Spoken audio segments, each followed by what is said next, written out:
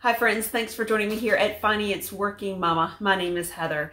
Now, can you believe fall has arrived? It's been around for a couple, well, a couple weeks, maybe almost a month, and Thanksgiving is just around the corner. Have you started planning your, your meal plan for your family? Well, if you have or need some inspiration or most importantly want to stay on budget, you have come to the right place. I have a menu that includes all the wonderful sides that we like at Thanksgiving, an appetizer as well as a dessert, and of course that delicious turkey for all under $100 that could feed up to 12 people.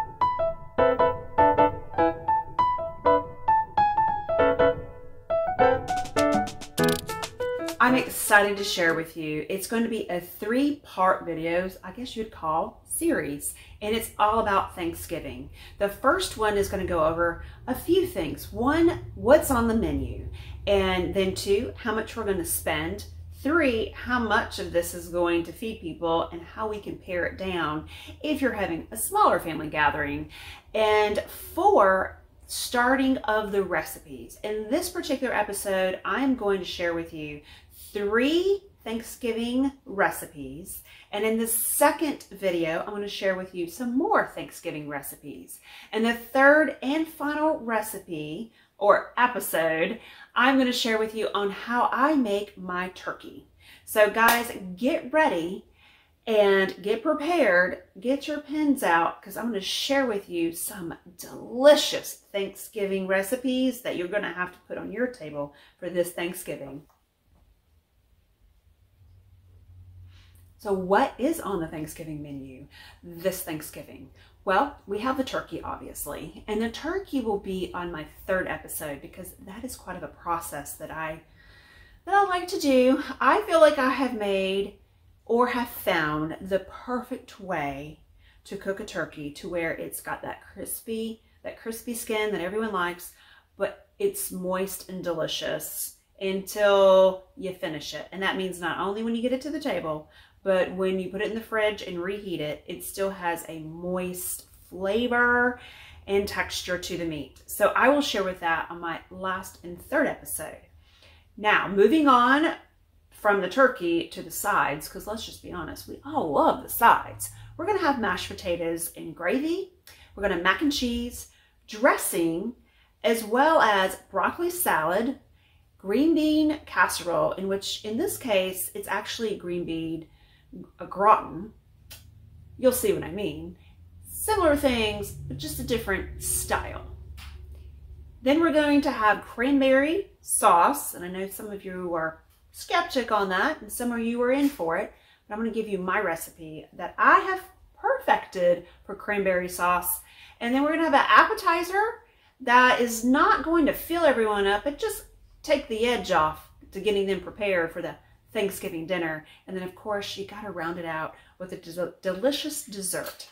So friends, let's start with first the green bean au gratin, which is better known to some, a green bean casserole. This is green bean au gratin, or better known or look to be green bean casserole.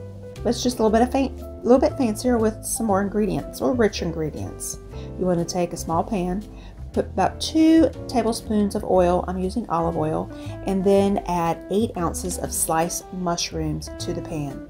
Make sure the mushrooms are, is mixed really well in the warmed uh, olive oil or whatever oil you choose.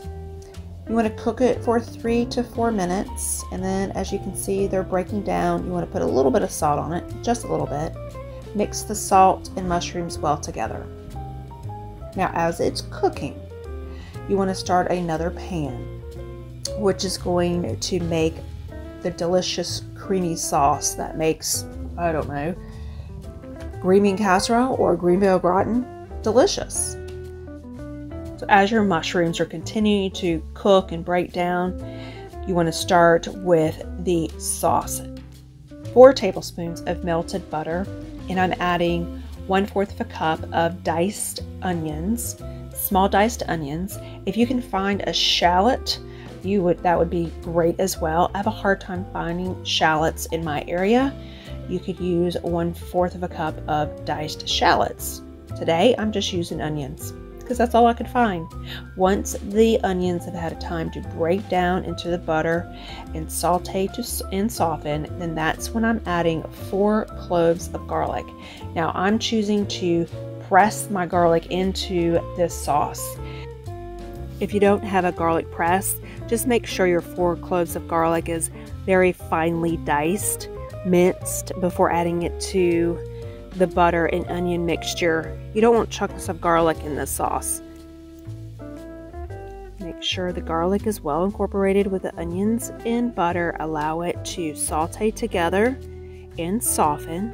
Once everything starts to smell that wonderful garlic smell, that's when you know it's time to add one third of a cup of flour. As you can see, I sprinkled a little bit of flour in first. I didn't add the whole one third of a cup. If you put all of the flour into the pan all at once, all it's going to do is just clump up and it's just almost impossible to get it unclumped. So sprinkle a little bit at a time. Once you see that that flour is well incorporated into the butter and onion mixture, then sprinkle a little bit more. Do that until the entire one third of a cup of flour is well incorporated into the butter, onion, and garlic mixture.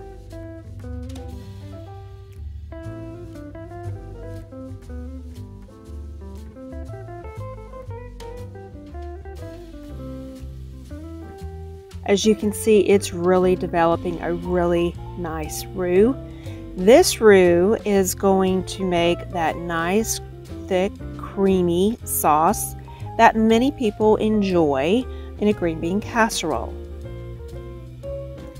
The time to add two cups of milk as well as a half a cup of heavy cream. I mixed the two cups of milk and a half a cup of heavy cream together and I warmed it because I did not want to add the milk and heavy cream to the hot pan cold. If you do that, it brings the temperature of the pan down and it, then it takes forever for that roux to develop into a sauce. So do yourself a favor, heat up your cream and milk before adding it to, a, to the pan. Now as you can see, I'm adding the milk and cream to the pan slowly. I'm not dumping it all in. I'm adding a little bit at a time, making sure that the roux is getting mixed well with the milk and the heavy cream. All right, as you can see, the milk is all incorporated into that roux and we want to add all the spices in. Now I have pre-measured all these spices, mixed them well together and adding them to the sauce.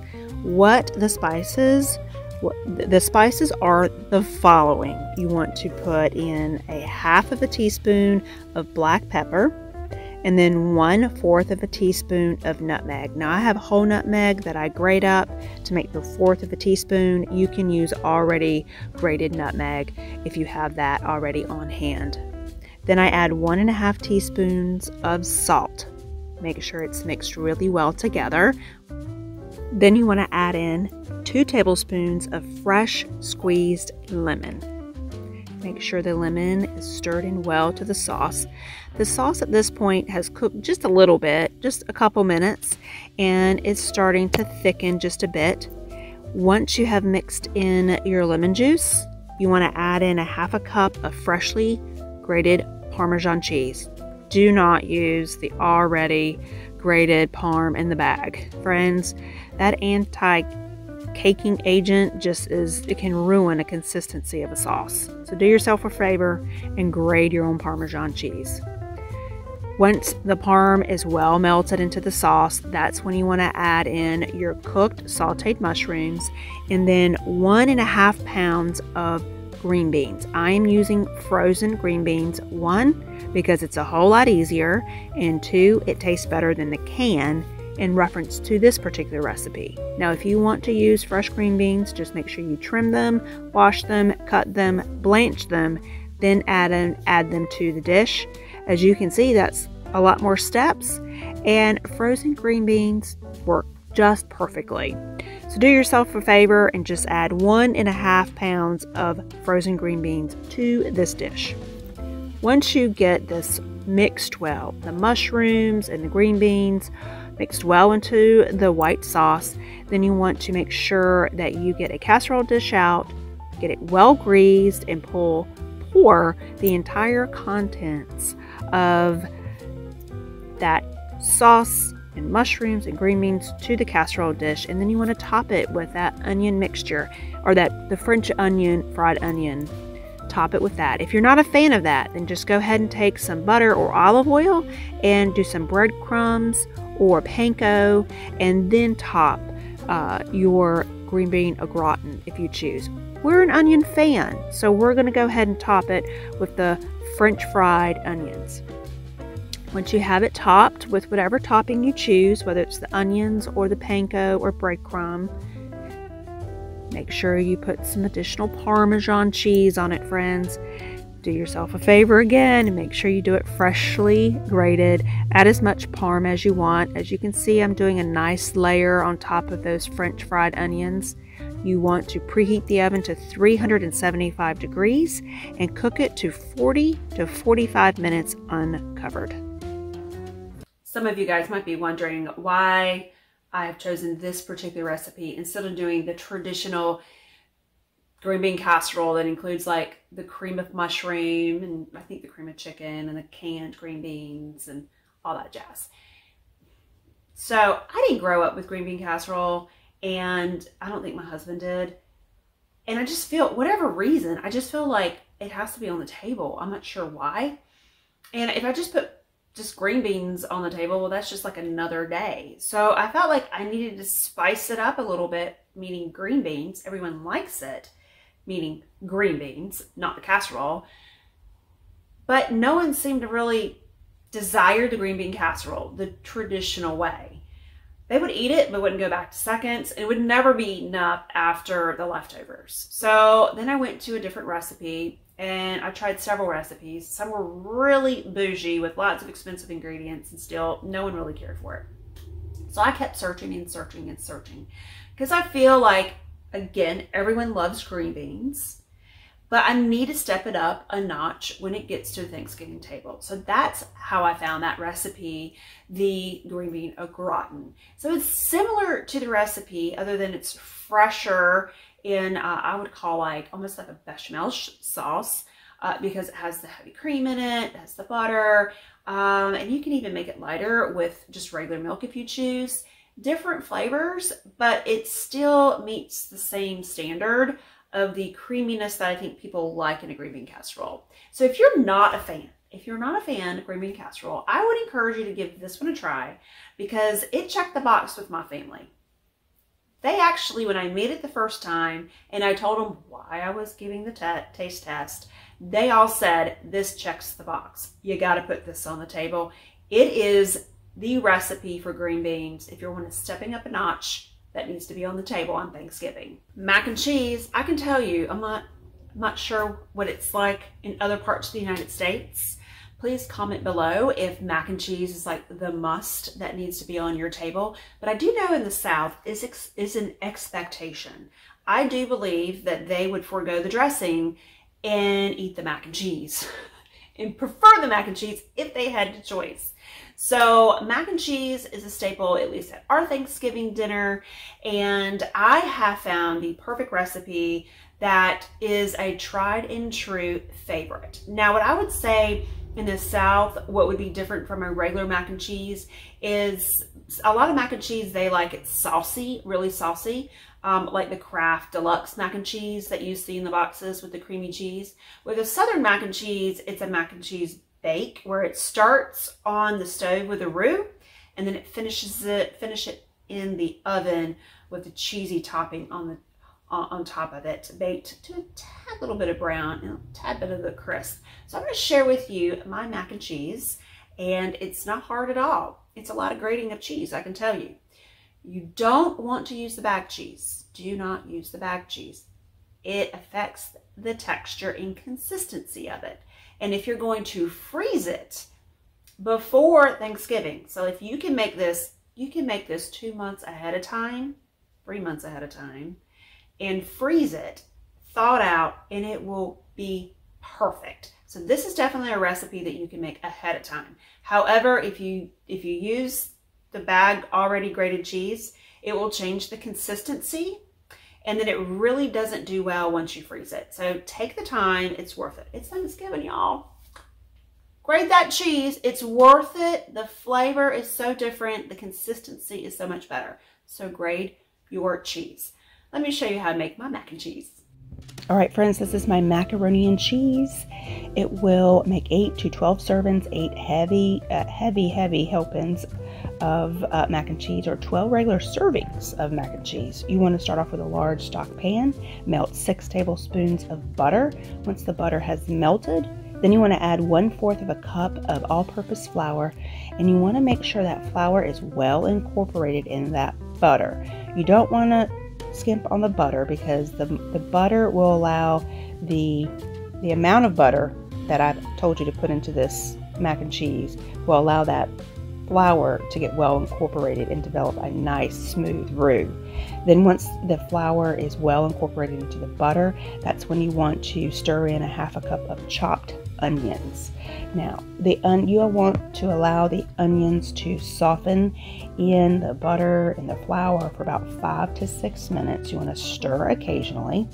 Once that has um, softened a little bit, then you want to add two teaspoons of dried mustard to the pan. And as you can see, I'm adding the two teaspoons and then I finished the rest. It was just a scotch left at the bottom of the container, so I just poured the rest of it in.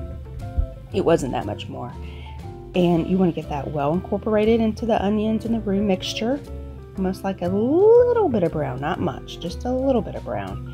And now you want to add in four cups of milk. You can use whole milk, you can use skim milk, you can use 2%, whatever milk you have you can use. Now you want to drizzle the milk in until you start to see all those clumps get well incorporated in the milk and become smooth. Do not dump it all in. Friends, don't do that. It you'll never be able to get the clumps out.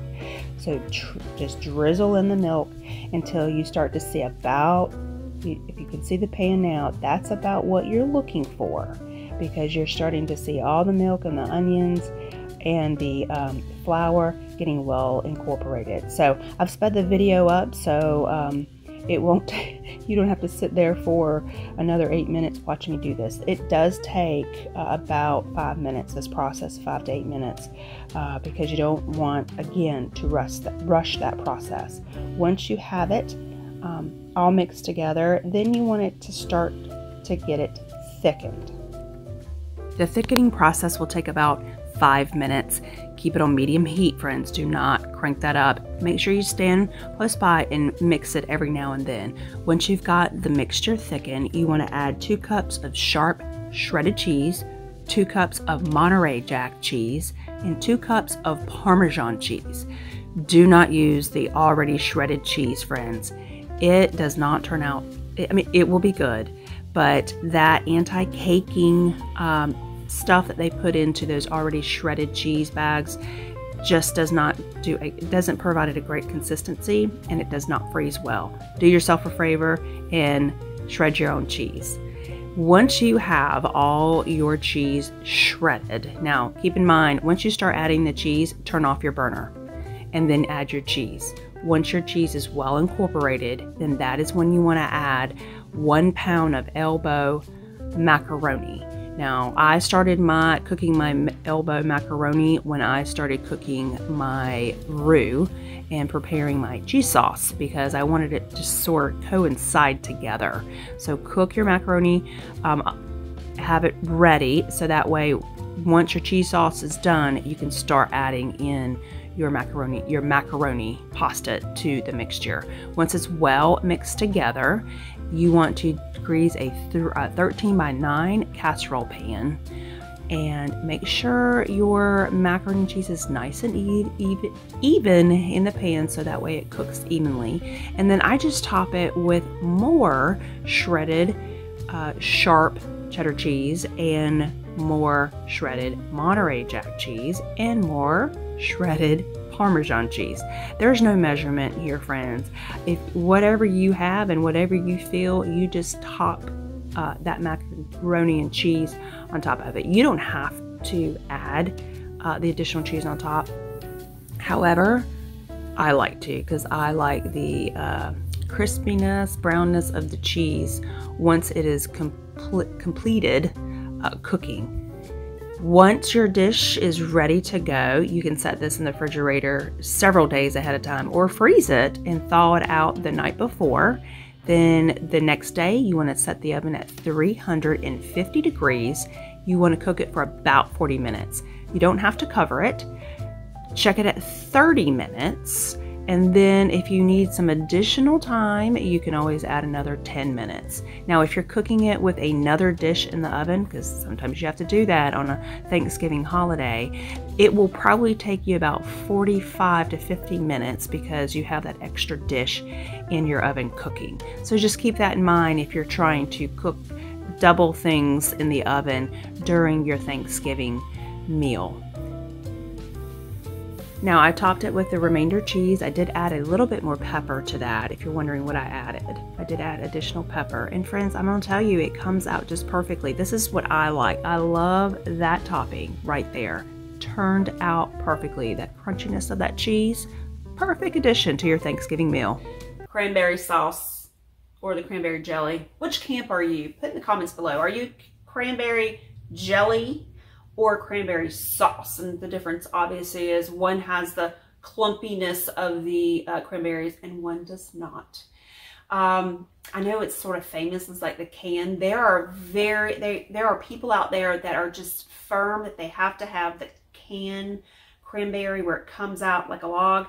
And there's others that just don't like it. They like the sauce with the actual like clumps of cranberries in it. I will tell you, I wasn't a fan of either at all. At all. However, again, there are people that like it and that come to our Thanksgiving. They like it with our turkey and they like it with their leftover turkey sandwiches. So I had to figure out a healthy balance and something that I would actually eat. And I will say my daughter, who is the pickiest, Ava, is the pickiest eater. She actually really enjoys this cranberry sauce recipe. It is really simple simple ingredients, and I will tell you friends, it is worth putting on the table. Let me show you how I make it, and I will say you can make this recipe several days ahead of time and keep it in your fridge waiting for you to place it on the table. So you don't have to make it the day up. And actually, it's actually better if you make it several days ahead of time. Citrus cranberry sauce. I'm going to start with a medium-sized saucepan and either 12 ounces, which is typically the size fresh cranberries come in, or 16 ounces. 12 or 16 will work just fine. You can use fresh or frozen. You want to pour them in the saucepan, pick out any of the cranberries that don't look great or maybe not completely ripe, any stems or rocks. Once you've picked through the cranberries, then you want to wash them really well and then put them back into the saucepan. And this is when you want to add all the delicious ingredients. And surprisingly, there's not a lot of it. You want to do a half of a cup of apple juice, apple cider, or orange juice. I did orange juice. Half a teaspoon of salt and one cup of white sugar. Make sure you mix all of those ingredients really well with the cranberries. And once you have accomplished that, then you want to add one cinnamon stick right there in the middle. Now this comes the dedication part, but that makes this is what makes it citrus. You want to zest one medium orange, all of it. Don't skimp. Use every bit of that zest and make sure you don't get the white pith. Just that orange goodness on the outside of that orange. Now cook it on medium high heat you don't need to cover it. And then while it is cooking, then you want to use that orange and cut the orange up. Now we're going to use every bit of that zested orange in this recipe. As you can see, I cut it in half and I took out, off all the peel. And I'm going to cut the segments out of it. Now the reason why I cut it in half is because it makes cutting the seg for me anyway it makes cutting the segments out a lot easier as you can see I'm pulling away the membrane uh, from the segment the orange segment so it makes the process go a lot faster you have to cut the segment segments up anyway so this sort of As you can see, that membrane, I just peel it right off and then you're just right, you're left just with that orange segment. So it makes it a lot easier. You could do it however you would like, but for me, this seems the easiest way. And you have to cut the segments up in half anyway, so there we go, it makes it easy. I do pick through to make sure I don't have large chunks, cut any of the chunks up that I feel like needs to be more bite size. You're gonna put this in the uh, cranberry sauce, so you want to see the oranges. You don't want it so small that you can't recognize that there's an orange in it. Now this has been cooking for about 12 minutes. As you can see, the cranberries are starting to break down. It's starting to get a really nice sauce, but it still needs some additional cooking time. So stir it really well and make sure it's not getting way too hot or way too overboiled. You might need to crank it down to about medium heat, but cover it to make sure that those um, cranberries don't pop and get all over your, your, your, your stove. Now, as you can see, now this has been cooking for another eight minutes. I've allowed it to cook, and this is what you want it to look like. When it gets to this consistency, that's when you know it's done. The sauce is ready to cool down and to either be placed in the container in the refrigerator or out to serve for Thanksgiving. I highly recommend cooking this at least two days before Thanksgiving because the flavors just taste so much better when it's had time to rest. And I like my cranberry sauce cool. If you like it warm, then go ahead and put it on the table or warm it up before you place it on the table. Before you uh, put it in the fridge, make sure you mix in those orange segments into the sauce. Make sure it's mixed very well. As you can see, this is it's going to have like a citrusy cranberry taste to it um, in every bite, and that's the whole purpose of making those bite-sized oranges. Now cover it up and put it in the fridge. It's great for two I weeks. started planning my Thanksgiving menu in May. If you've watched me for a moment or two, I always say start planning for your holidays, the expensive holidays, months in advance so that way you're ready for when it comes and it's not a financial bur burden when you have to buy all the things. So I plan my recipes, what's going to be on the table uh, coming November, set who's coming, start inviting people, family, figuring out if they're going to be able to make it or not. And then, of course, writing down all the ingredients I would need for each of the recipes and the ones that are either for the freezer that I can buy that can be frozen or pantry staples. I'll go start buying those throughout the months to come so that way it's not such a burning when November hits. Now in August, when it comes, we're starting to narrow out. August and September, I revisit the menu, see if I want to add something or delete it, and then check in to see who will be attending. So that way um, I'm not caught off guard. Obviously, there might be one or two more additions when November hits, but that's easy to plan for and to incorporate into the menu.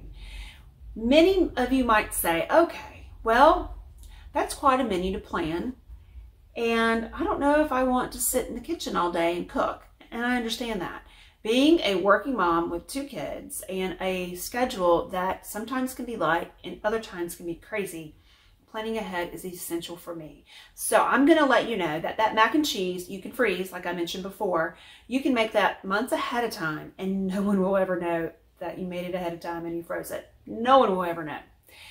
Just remember, grate your cheese. Don't buy it already grated in those packages. The green bean casserole, I'm choosing to make mine actually on a Tuesday, Monday or Tuesday before Thanksgiving, just because, I don't know, I just figure I have the time and it doesn't put that much more effort in my week. And, or if you choose that that's not going to fit in your schedule, you can freeze that I would say the recipe for this with the contents, I would freeze it up for maybe three months, no more than three months um, in preparation for Thanksgiving. The cranberry sauce, like I mentioned, it's actually better if it sits in the fridge for a couple days. That can last up to two weeks once you've made it. So friends, try it. If you if you if you don't like it, if you're not a fan, you have to try it. It is delicious. All of those can be planned ahead. So I try to plan out my menu ahead of time put my budget in place, figure out who's attending months and weeks ahead of time, and then buy ingredients throughout uh, throughout the months and weeks to come. So that way Thanksgiving comes, I'm pretty much all set. I'm heat, heating, adding a little bit here or there, and then enjoying my day instead of in the kitchen, worn out. I'm in the kitchen a little bit and still enjoying my family throughout the day. Friends, if you haven't already, please subscribe. You don't want to miss episode two and three where I go over more Thanksgiving sides and of course how to make a delicious juicy turkey. By far, every year, it's to perfection. I don't care what type of turkey you buy. It is perfection. You don't want to miss episode three. All right, friends, if you are looking for maybe some other recipes to inspire you for Thanksgiving dinner, you can look at these episodes um, that YouTube thinks you should watch. And again, if you haven't already, please subscribe. You don't want to miss, miss, miss, miss episode two. Thank you so much, friends, for joining me today. And make sure you stay safe and most importantly, stay encouraged.